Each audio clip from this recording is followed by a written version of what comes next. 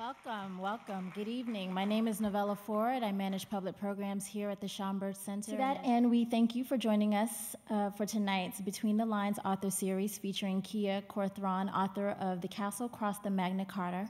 She will be in conversation with Pulitzer Prize winning cultural critic Margo Jefferson, author of the recent memoir Negroland. So, Kia is also a playwright whose works have premiered in New York and across the U.S. as well as in London. As a playwright, Corthron has received numerous numerous awards, including several for her body of work, the Windham Campbell Prize for Drama, among others. Joining her tonight, the winner of the Pulitzer Prize for Criticism, Margo Jefferson, was for years a book and arts critic for Newsweek and the New York Times. Without further ado, please welcome Margo Jefferson and Kia Corthron, who will begin with a reading from The Castle Cross the Magnet Carter. Both boys stopped coloring to look up and gape at Eliot. My father was a porter, like him. And colored men can be engineers and firemen too. The children looked down at their pictures, then back up at Elliot, blinking. Elliot asks gently, you boys want to tell me what happened? And me and Daddy come running to the door. Her voice sound like we ought to come running to the door. And a police standing there. And policemen say, You kiss a right girl, boy. Policemen look mad. Policemen say, Ginny, tell her daddy we was kissing. Policemen say, You know that's a white girl. You know that's a white girl, and policeman got a gun in his pocket. He keep tapping it, and then they put the handcuffs on me, click, and they put me in the paddy wagon, and mama crying and me crying, and then they drive, and then they park. They park a long time, and then come Max in the handcuffs crying. They put him in the paddy wagon with me, his mama crying, and in the jail they punch us in the tummy, they punch us in the legs, in the back a long time, bang, bang, bang. My tummy hurt, and every day we say, "Can we see our mama?" And they say, "Should have thought of that when you go raping little white girls." And then can I ask you a question? Of course. Eliot stoops next to the child, and Max cups his hand around his own mouth and Eliot's ear. When my mama kissed me, that don't count as rape. Do it? It only rape when I kiss back, right?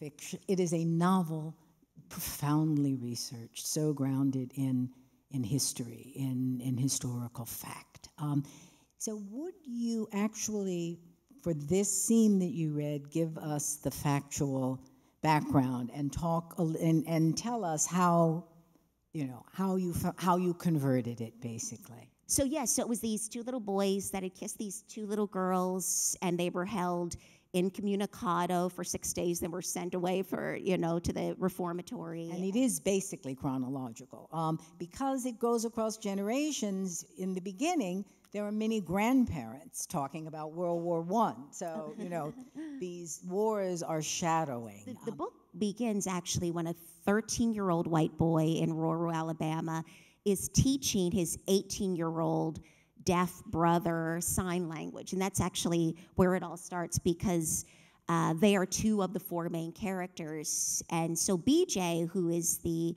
uh, the older brother, the deaf brother, uh, it's when he becomes starts uh, becomes a person of language. Surprising and bold move that you, um, a woman writer, would choose. Um, you know, four male characters. But one thing that I got from a book called it was Anecdotes of the Deaf, and um, this this actually goes back to your question about writing about men, because one of them uh, that I read um, had to do with uh, something about the the deaf men learn quickly that in the urinal you don't aim for the pool because at the bottom because it's really loud and like they learn it from the way hearing men looking around them. So that was actually really great to put in my book because it was something about deaf culture and about urinal culture that I knew nothing, nothing. about. So fresh information. Yes. Yeah. yeah. Some people have told me that who have, have read it that, that they're very clear every moment exactly where they are. And that may be a theater thing, but for me, clarity is kind of everything that I want to. Um, I'm not going to spoon feed it, you're going to feel what you're going to feel. but I will give you all the information to go to that place. Well, I, I, my four main characters, I still love them all, all of them, because they all have their humanity and they've all made their mistakes. And one in particular made a terrible, terrible, terrible mistake. Um, but uh, I don't believe that we are just black, flat, black and white, flat characters. It's uh, and I didn't mean that racial black and white, but just that we are all complex, and I wanted to explore that. So thank you. Uh, I encourage you again, get the book. It is totally worth it.